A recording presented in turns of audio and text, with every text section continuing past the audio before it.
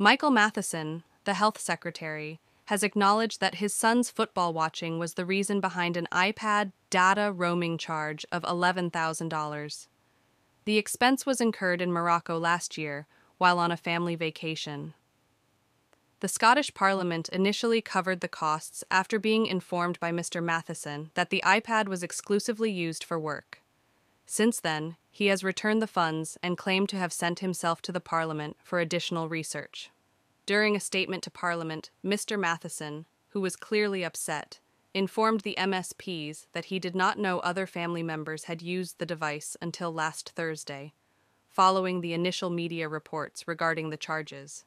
He claimed that instead of using the iPad itself, his kids had only used it as a hotspot to connect other devices to the internet.